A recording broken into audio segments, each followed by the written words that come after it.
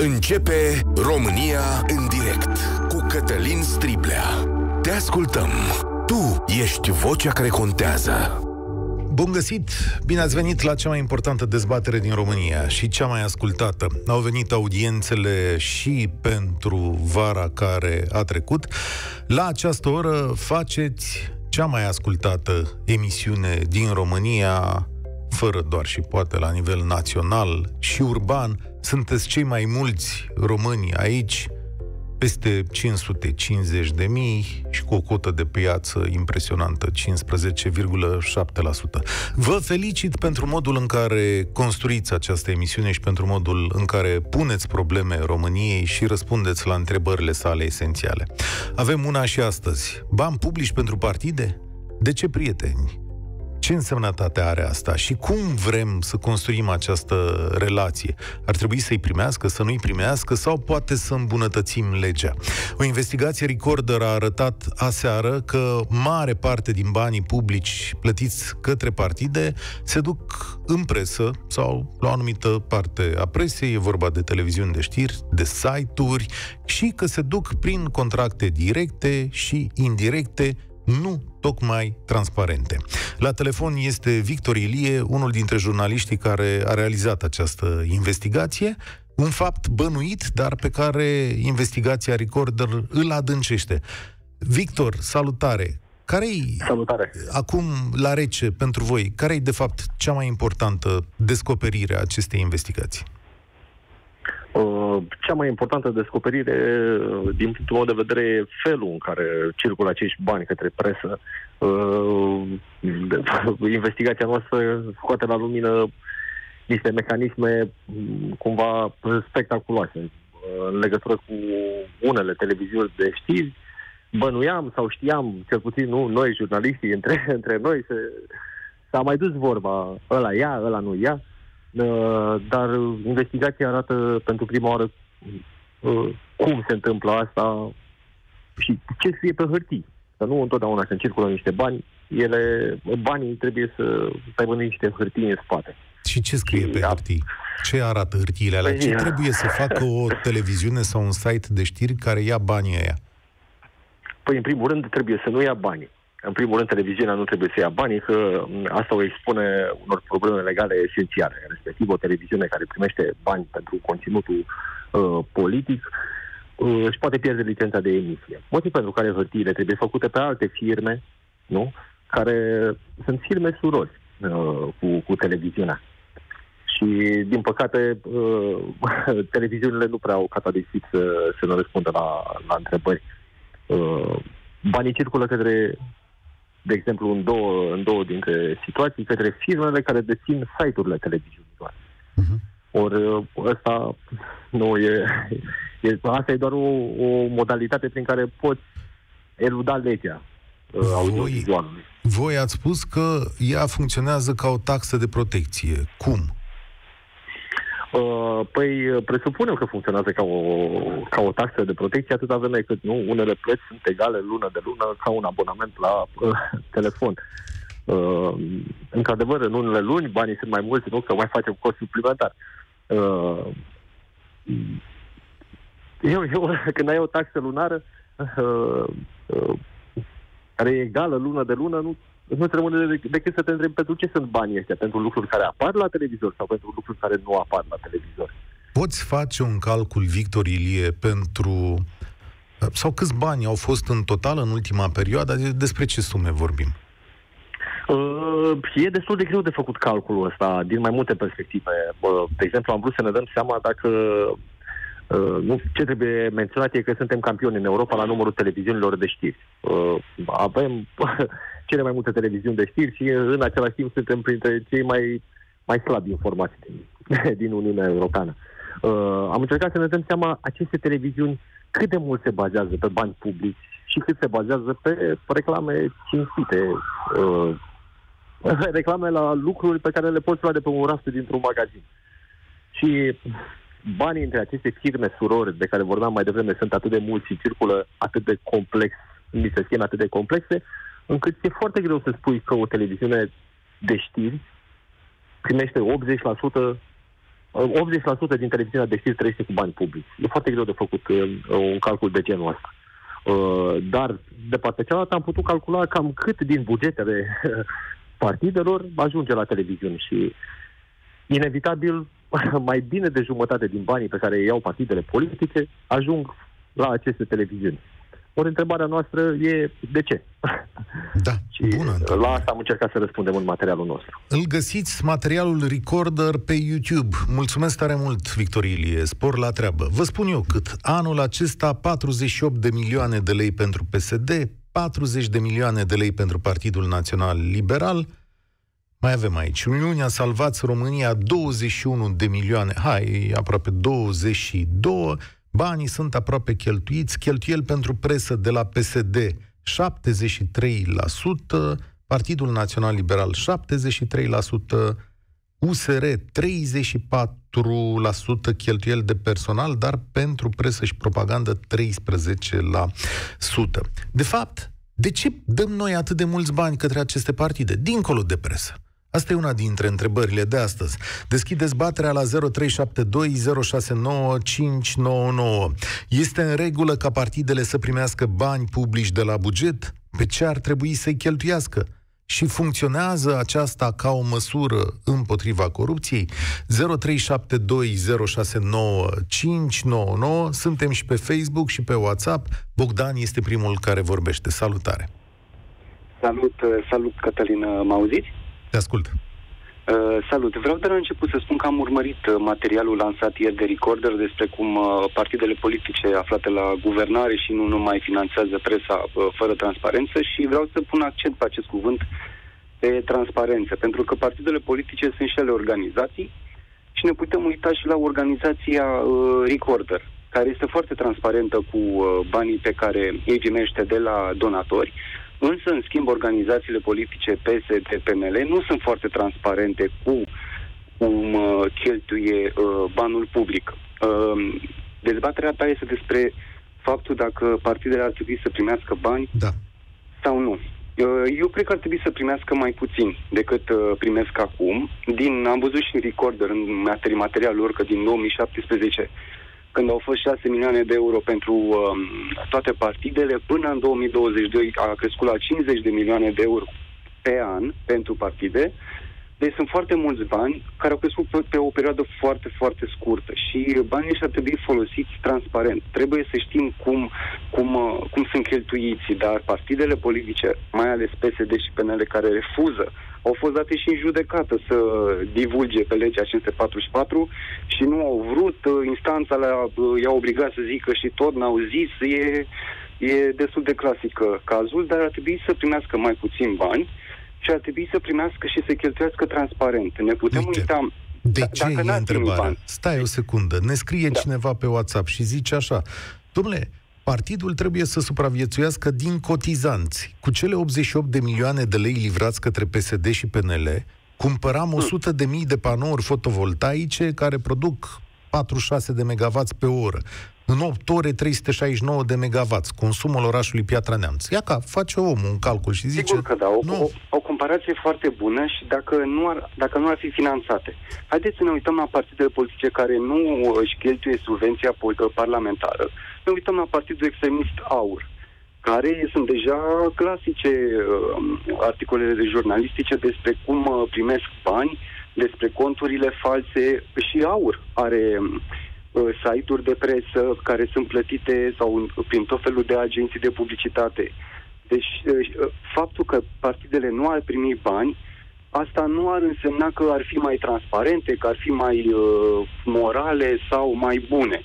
Ele trebuie să primească mai puțin bani, dar ideea este transparență. Trebuie urmărite, verificate într-o democrație partidele politice cum își finanțează activitatea, pur și okay. simplu, ca orice organizație. Mulțumesc pentru acest punct de vedere. Vreau să văd ce gândește Vasile. Salutare! Cu sau fără bani publici, Vasile, pentru partidele uh, politice din România? Uh, cu bani, dar cu bani puțin, pentru că partidele au nevoie de bani să-și întrețină sediile, personalul care face muncă de secretariat și, doamne, asta, sunt 40 de județe, 40 de sedii. Dar ce m-a îngrozit pe mine în uh, reportajul Record este legeritatea cu care domnul Ciolacu refuză să uh, transpartizeze banii pe care a luat de la stat. Te înspământă când vezi că nu, știu că nu au nimeni nicio putere împotriva lor. Faptul că judecătorul a spus să dea lista și ei nu și ei încalcă legea, spune uh, multe despre faptul că ei uh, controlează de la Curtea Constituțională până la ultimul judecător. Asta, asta o să, să, să, mai, să se demonstreze. De aceea, eu aș da bani la partid în funcție de membrii cotizanți. Adică?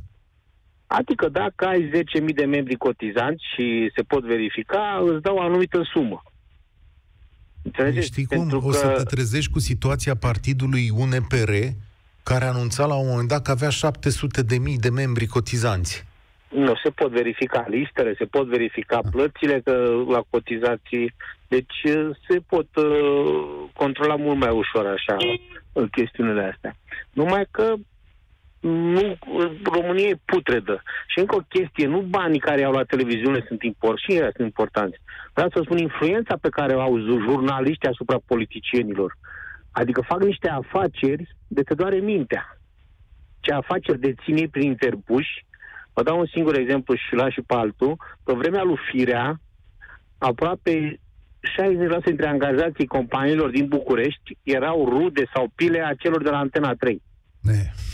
da. Demonstrat. A, așa, demonstra. Cum puteți demonstra a. așa ceva? Nu știu. Eu am avut no. doi prieteni și am doi prieteni care au avut angajați la o companie și nu făceau nimic. Hai să vă de la spun eu, să vă spun eu ce uh, îmi spunea la un moment dat un consultant politic și spunea, domnule, Ceea ce a făcut doamna Firea cu companiile primăriei este cea mai mare invenție pentru clientela de partid. Și cu asta da. pot să fiu de acord. Dar un calcul din ăsta care să arate că ăia toți erau prieteni cu nu știu ce televiziune, e greu de făcut. Dar, într-adevăr, și eu, ca și tine, o văd o mașinărie infernală făcută să pui posturi de la partid. Cum e și mașinăria asta, banilor publici, care sunt dați, știi care e marea lor problemă? Sunt dați otova, adică Păi, ia luați de aici. Cât înseamnă, mă, 48 de milioane de lei? Sunt... Uh... 10 milioane de euro. 10 milioane de euro. Și nu îi spui de 10 milioane de euro. Un singur partid luați pe căprării, frate. De ce ar trebui o lege care să spună, uite, atâta poți să faci pentru propagandă, că nu o să scrii pentru presă, atâta poți să faci pentru, știu eu, sedii și așa mai departe. Că Dar dacă... de ce trebuie să dai bani să faci propagandă la, tele, la televiziune? Bun, dacă nu ai nimic de spus, te ia nimeni, te preia nimeni. Dacă ai ceva de spus, te preiau toți. E, așa ar trebui în mod normal. Da, aici e o discuție foarte nuanțată. Dacă vrei la un moment dat să discuți despre o modificare la legea mediului sau știu eu, la o altă lege, o chestiune de genul ăsta, s-ar putea să fie foarte complicat pentru că din rațiuni comerciale nimeni din presă nu o să ocupe de asta. Ba, nu face audiență. Ah. Și atunci, da, e o discuție care uh, merită purtată. Îmi permiteți o idee. Uh, dacă vă uitați la televiziuni, în momentul în care au pe cineva în vizor, cele patru televiziuni sar pe perso- personajul respectiv sau pe partidul respectiv. Așa ceva n-am văzut nicăieri. Și nu s-a pomenit. Într-o seară a fost pe un, un politician, nu spun numele, în care el este vinovat de toate relele din România. Dar toate televiziunile au, mers, au marșat pe aceeași idee. Domnule, ceea ce arată da. o concentrare de forță. Da, nu știu dacă funcționează chiar așa. Fără bani de la noi, de la noi la partide, sponsorizăm corupția, sponsorizăm incompetența, sponsorizăm trădători de țară, spune Alex pe Facebook. Cea mai mare dezbatere publică din România. În direct la Europa FM cu Cătălin Striblea în direct cu noi vicepreședintele Autorității Electorale Permanente, domnul Marian Muhuleț. Bună ziua, mulțumesc că ați acceptat acest scurt dialog. Aș vrea să știu, domnule Muhuleț, care a fost gândirea legiuitorului de la bun început când s-au dat bani către partidele astea? Adică ce am schimbat? Care a fost ideea cu care noi am plătit bani partidelor? Uh Ideea de a susține partidele politice nu este o idee românească în toate statele Uniunii Europene, în toate țările civilizate, activitatea politică este susținută și de către bugetul de stat într-o formă sau alta, într-o proporție mai mare sau mai mică. Uh, la noi avem o lege a finanțării partidelor politice, activ, a finanțării activității partidelor politice și a campaniilor electorale în vigoare din anul 2006. Ulterior ea a fost modificată, amendată după, după cum a considerat Parlamentul României. Uh, banii pe care, uh, mă rog, trebuie spus din capul locului că legea prevede că partidele au acces la două tipuri de finanțare. O finanțare privată din cotizații ale membrilor de partid, donații pe care aceștia le fac către partid și o finanțare publică prin uh, intermediul subvențiilor, acestor subvenții de la, de la bugetul de stat. Uh, prin lege, subvențiile sunt acordate partidelor politice pentru, să spunem, pentru a premia uh, performanța politică, performanță politică uh, obținută în urma alegerilor parlamentare pentru Camera Deputaților și Senat și pentru performanța din alegerile locale. Deci statul... Deci, cât ai mai decide... mulți parlamentari, cu atât primești... Nu, este în, numărul, e numărul de, în funcție de numărul de voturi primite. Aha, numărul de voturi, de ok. De mandate, da. Bun, e în funcție de numărul ce, de voturi primite. Ce pot ei să facă cu banii ăștia, așa, potrivit uh, Păi, uh, dacă discutăm doar de bani, de, când vorbim de bani privați, adică banii strânși din cotizații și din donații, pot să facă aproape orice își doresc să facă cu ei, pentru că sunt bani privați. Când vorbim de bani publici, bani dați de la bugetul de stat, legea, la articolul 25 e foarte clar, are o înșiruire pe litere de destinații către care se pot îndrepta acești bani. Sunt un număr de 25 de destinații de la litera A la litera Y. Și aici avem cheltuieli materiale pentru întreținerea și funcționarea sediilor, cheltuieli de personal, cheltuieli pentru presă și propagandă, uh, cheltuieli privind organizarea de activități cu caracter politic, pentru telecomunicații, pentru delegații, pentru transport. Deci tot ce înseamnă activitatea lor ca o corporație, Activitate fi, ca, o, da. ca o întreprindere. Uh, acum, exact. uh, vă surprinde să vedeți pe tabelele acelea că cei mai mulți bani merg către presă? Uh, da, într-un fel mă surprinde și mm, mă surprinde pentru că eu personal uh, aș aloca mare parte din banii aceia pentru susținerea activităților, nu știu, de, de educare a activului de partid, care sunt și ei uh, cetățeni români, și pentru educarea electoratului în, uh, în privința politicilor pe care le susține un partid. Dar nu neapărat prin intermediul presei, pentru că, din punctul meu de vedere, presa trebuie să-și, uh, să-și facă datoria de a fi un stâlp al uh, democrației și nu ar trebui să fie susținută uh, atât de, de masiv de banii dinspre partidele politice. Din Acum, punctul ăsta de vedere, da, mă, mă surprinde. Ei ar trebui să vă spună dumneavoastră, ele, partidele, ar trebui să vă spună dumneavoastră și cui cât au plătit, așa zice legea, sau e uh, ei vă raportează mare. Spun, domnule, la presă atât, la cheltuieli de personal, trebuie să vină individualizat cu ce au făcut, am dat bani lui X atât, bani lui Y atât. Autoritatea electorală permanentă are în structura sa un departament de control al finanțării partidelor politice și al campaniilor electorale care controlează tot ceea ce înseamnă cheltuieli și venituri ale partidelor politice. În materia subvențiilor, un, con- un alt control exercitat uh, pe modul de cheltuire al banilor publici primiți de partide este exercitat și de către Curtea de Conturi.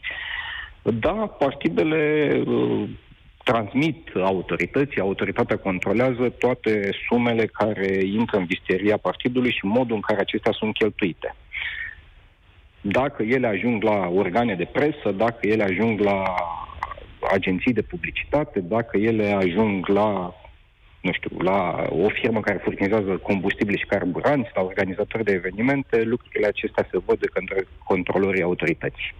Bun. În, în ce ați văzut controle. aseară în investigația Recorder, este ceva nelegal? Uh, din punctul meu de vedere, n-am văzut lucruri nelegale, am văzut doar lucruri uh, care contravin oarecum unui principiu pe care legea îl, îl susține chiar la debutul ei, uh, adică principiul transparenței veniturilor și cheltuielilor. Așa cum am văzut, există uh, o dezbatere chiar și între partide. Partide precum Partidul Național Liberal sau usr au ales să pună la dispoziția jurnaliștilor date legate de acest aspect, considerând că nu este un subiect, adică susține această transparență. N-am înțeles poziția altor partide de ce, de ce se feresc de aceste, de a pune la dispoziție aceste Ei, aici... aceste lucruri, mai ales că ele sunt, le prezumăm ca fiind legale, aceste cheltuieli și nu, nu văd de ce ai ascunde o cheltuială legală făcută din bani publici. Maria Mâhuleț, mulțumesc tare mult. Este vicepreședintele Autorității Electorale Permanente. Și dacă vă întrebați de ce nu vorbim cu șeful Autorității Electorale Permanente, căutați să vedeți ce dosare penale mai sunt la vârful autorității. Cum s-au dus ele la judecată, s-au întors, cum colegii din Parlament de la partid au mai pus niște, cum să le zic, amendamente la lege ca să se poată întoarce dosarele înapoi. E foarte uh, distractiv și la vârful uh, AEP. Da, ascultați România în direct. Hai să vedem, Șerban. Salutare, bine ai venit la noi. Salut, Cătălin. Mulțumesc pentru răbdare. Ce zici? Cu, Cu cea mai mare bani? plăcere. Uite, am ascultat explicațiile, Fără bani. sunt detalii. Fără bani. Ok. De ce? Fără bani. Deci am ascultat explicațiile. Mi s-a părut foarte bună intervenția de adinaure al domnului de mai devreme am uitat. Muhuleț. Domnul Muhuleț, îl știți de la televizor. Domnul An de Muhuleț. zile, an de A. zile, domnul Muhuleț e domnul acela cu barbă care va anunța rezultatele alegerilor. Da, el. Da, e bine. Am uitat, din păcate îmi cer scuze, am uitat cum îl cheamă, dar sunt uh, de părere că tre- ar trebui fără bani. Asta este Păi părerea de mea. ce? Că asta Mi se vreau pare să... o, Da. mi se pare o absurditate să pă, dai bani pentru partidele politice care au o grămadă de cotizanți, care au o grămadă de posibilități de a-și face cu totul și cu totul alte venituri pe sponsorizări, pe ce vrei tu, dar de ce să dau din banii publici, din banii noștri, din banii mei, să dau ca să ce? Ca să-l văd la televizor, ca să aud despre el în presă, ca să aud ce performanțe a avut el, deși totul sunt false, ca să văd că pă, pă, ia trezorierul și e condamnat penal pentru că și-a făcut vile și și-a făcut vacanțe. De ce aș da banii ăștia? Adică, dacă fac o sumă, nu numai la PSD, la toate partidele, dacă fac o sumă a contribuțiilor pe care le avem noi, ca cetățenii ai României, putem să facem, cred că, vreo două autostrăzi, nu una. Da. Pe De ce să facem vedem. asta? 2021, PSD 90 de milioane de lei, PNL 76 de milioane de lei, USR 41, AUR 18, PMP, subvenție 4 milioane de ce de am lei. continuat tâmpenia asta? E o Păi, tâmpenie, știi, dăm din banii publici ca o să să-ți ce? dau. Uite- Ca să-și întrețină sediile? Da, și de Să-și asta. întrețină sediile? Da. Păi, ok, sunt de acord cu tine. Dacă nu ai bani, că până la urmă, hai să vorbim pe, pe antreprenoriat, dacă vrei. Da. Nu ai bani, nu desf- desfășori activitatea, da? Stai Corect. un pic, stai un pic, că mai e ceva. Mai e ceva. Hai să-ți aduc Rău. aminte. Ții minte cazul acela de la PNL când din sediul PNL Buzău la sediul central se aduceau valize cu bani? A, Da. că nu-l ții minte, au trecut vreo 15 ani. Să fi fost 2008, 2009, dacă nu mă înșel, și a venit, au venit 2008, DNA. 2009, cred că. Stenograme, da, stenograme de la DNA. Și veneau valizele. Și se luau de la Buzău, așa, se luau un geamantan cu bani și se aducea în centru la, uh, la București. Și se băga în sediul partidului. După care, la PDL, domnul Blag a fost investigat tot pentru chestia asta, nu? Că veneau niște bani la partid tot în niște genți. Cred că dosarul lui s-a încheiat cu achitare. Da? Și uh, în momentul ăla a- s-a, a venit această propunere și a spus, domnule, decât să mai care ăștia bani în genți la negru aici, mai bine le dăm niște bani de la buget și scăpăm de corupția asta. Păi eu cred că tocmai atunci s-a adâncit corupția. Adică nu te supăra pe mine, decât mai bine să vină bani de unde ori vrea ei, Da. da. cum ori vrea ei, decât să plătim din banii publici, pentru că tot acolo se duc. Adică mi se pare un nonsens și o contradicție în același timp. De ce să de- plătim din banii noștri, ai tuturor, o chestie care oricum se rezolvă și oricum Na, acum nu am argumente și nu am dovezi și nu am nimic. Dar oricum se întâmplă. Da, e posibil Banii să fie. oricum vin. Banii oricum vor veni, asta zic, într-o formă sau într-alta. Măcar aici declară niște cheltuieli, mai știm cine i-a luat. Mulțumesc! Daniel, salutare, ești la România în direct. Salutare, Cătălin, salutare tuturor. Uh, sper că mă aud bine. Cât de cât. Îmi cer scuze în primul rând pentru eventualele bulbe, am câteva emoții, dar încerc să fac o înșiruire de idei cât mai uh, concrete.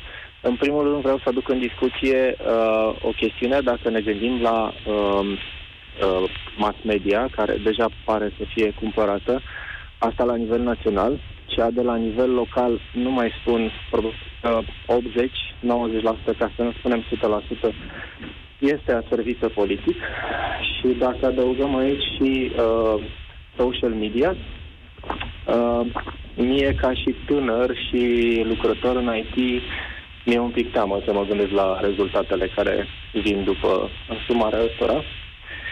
Și anume cât de mult este influențat omul de rând, alegătorul de rând și oamenii care nu se informează decât în mare parte din uh, televiziuni și ziare cei, care... Cei mai mulți dintre români se informează de la televizor. Dar, atenție, exact. nu toate televiziunile primesc acești bani. Nu sunt în toată presa. În multe locuri, la USR, la PNL, vezi exact, uite, aici am trimis atât, atât, aici s-a făcut atât. Investigația Recorder arată și mai mult decât asta, arată unde s-au dus și bani de la PSD. Deci, cred că există un avantaj. Știi care? Că în momentul ăsta, cu transparență, uh, te poți lămuri. Păi zici, bă, eu mă uit la televizor, ia uite, ăștia au fost plătiți. Și să naște un tip de bănuială.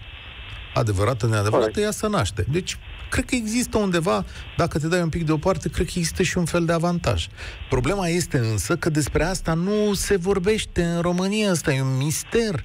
Cu excepția ziariștilor de la Recorder și a lui Cristian Andrei de la Europa Liberă, care a pornit lucrurile astea, E atunci să știi că ăsta e un subiect pe care presa îl uită, îl dă deoparte. Nu avem o dezbatere, nimeni nu are interesul să avem dezbaterea asta. Cred că este lesne de înțeles de ce se, nu se transparentizează lucrurile. Uh, eu o să spun și un mic amănunt din uh, viața mea. Pe vremea când eram student, uh, am lucrat la o televiziune locală Uh, nu o să spun nume sau în ce județ, dar uh, pot să confirm cumva din interior că uh, uh, targeturile și interesele e mai mult decât evident acum în urma investigației Recorder care sunt. Uh, și lucrurile cam așa stau. Păcat că nu avem mai mulți avertizori de integritate din interiorul acestor Aha, companii care să Exact. Legea, modificările la legea avertizorilor de integritate. Da? Foarte importante, petrecute în această perioadă. Au fost niște modificări care practic fac imposibilă treaba asta. Dacă mai e unul care fluieră în biserică și dă în gât pe ăștia de la stat cu ce afaceri fac, omul ăla va fi neprotejat sau nu va avea dreptate.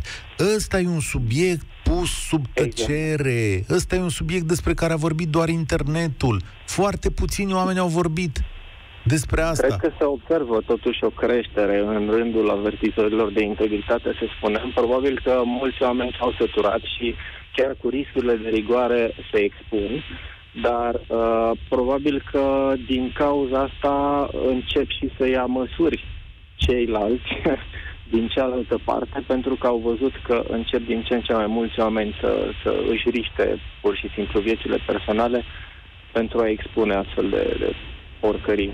România în direct. Cătălin Striblea la Europa FM.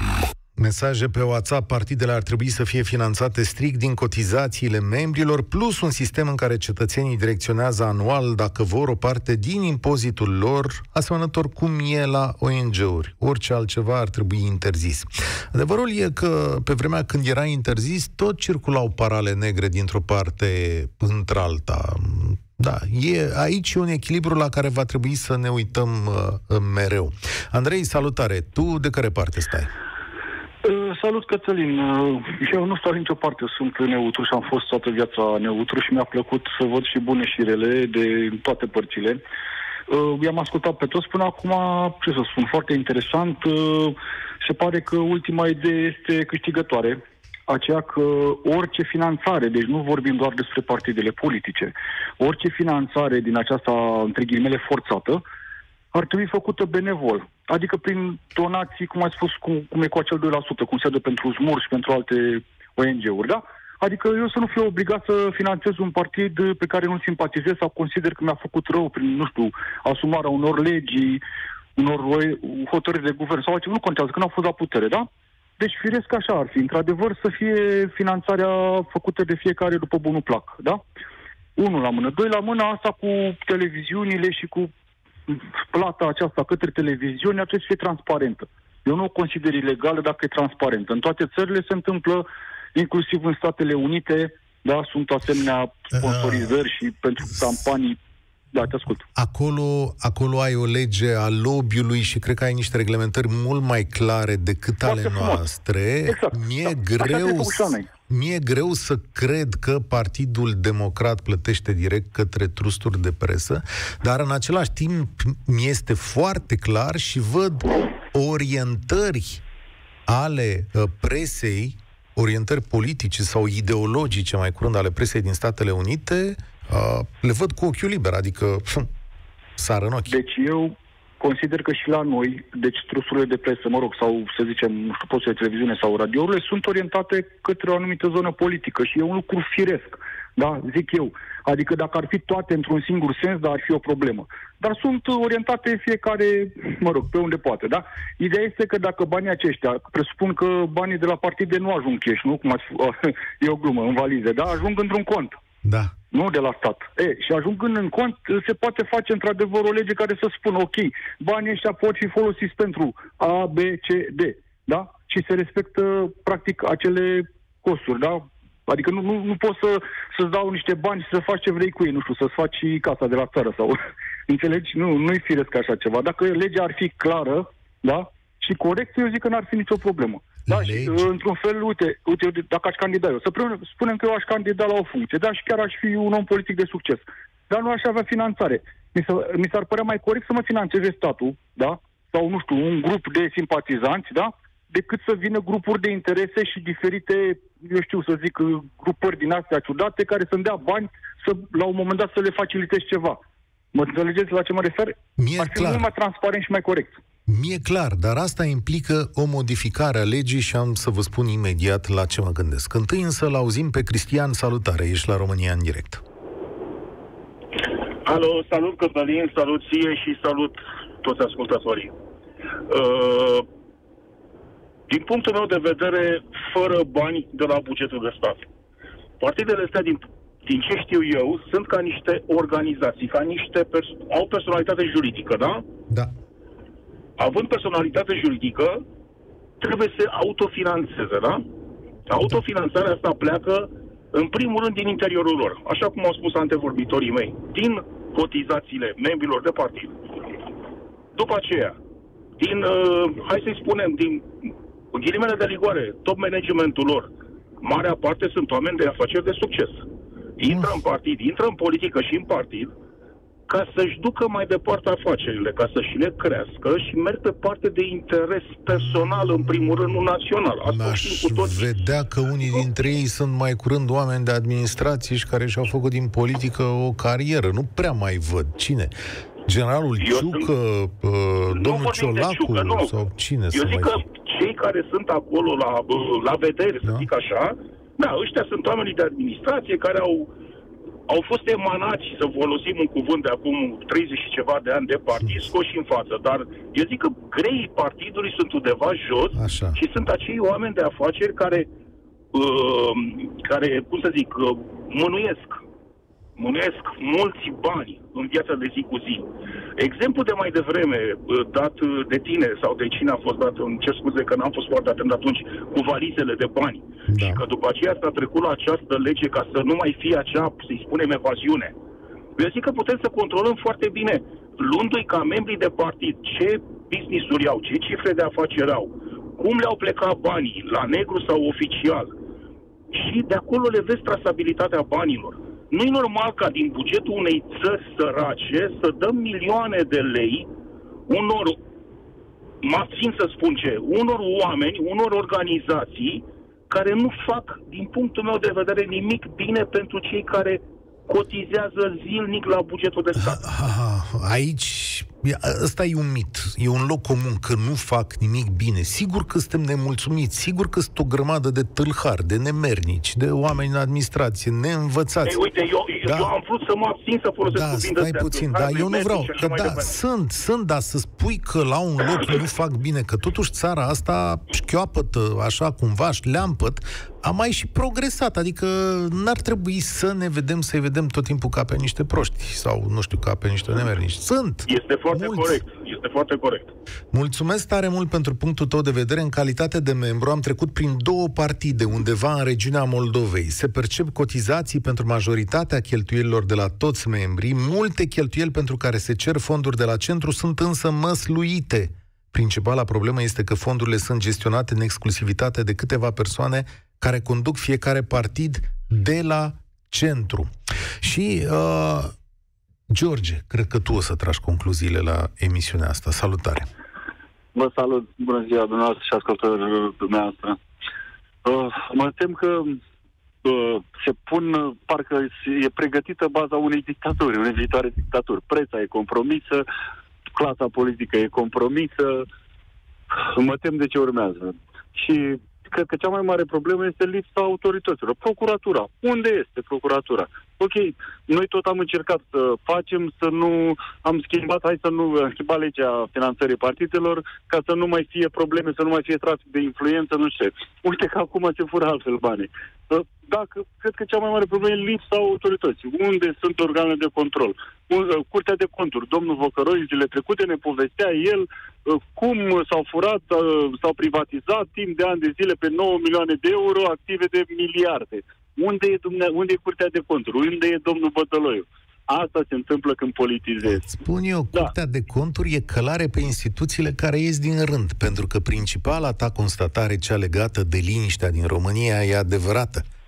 Dacă România are să se teamă de ceva, aș zice dictatură. Suntem departe, nu-i văd în stare de o dictatură, dar de un tip de autoritarism din ăsta soft în care hai, s-au plătit bani la presă, e ok, anumite subiecte nu se discută niciodată, cum e ăsta, sau altele, e o listă acolo la finalul documentarului Recorder, anumite decizii politice nu pot fi luate niciodată, da, ăsta e un lucru la care trebuie să ne uităm, George, ai dreptate. Așa se pun bazele unor regimuri politice care nu mai dau Așa socoteală. Încep. Așa începe.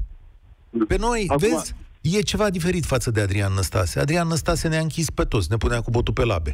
Domnule, în mandatul domnului Iohannis s-a găsit uh, la o altă cu domnul Dragnea, să fim cinstiți. S-a găsit metoda, asta e perfectă, îi cumperi. Așa a făcut și domnul Orban în țara și uitați unde sunt acum. Ah. S-au ajuns Ungaria, a ajuns pare Europei. Adică nu mai e frecventabilă, le s-au tăiat fonduri. Așa urmăm și noi. Și Uh, și USR-ul. Unde e USR-ul și el? S-a compromis. Unde e USR-ul? Hai că-ți spun eu USR-ul. Uite-te pe câți bani să dau USR-ul, n-are loc la televizor. Dacă te întrebi unde e, este pe internet, acolo. Și în rest cu compromisul, da, ar trebui să discutăm despre USR. Îți mulțumesc mult, da, azi nu mai e timp. Ne-a promis domnul Cioloș că o să vină la emisiune în toamna asta, de la partidul ălalt. Am uitat cum îi zice, reper, cred. E o bună întrebare pentru domnul Celoș. Ce ați făcut cu USR? Și aș vrea să închei așa. M-am uitat pe pagina publicistului și uh, politologului uh, Sorin Cucera. El zice în felul următor.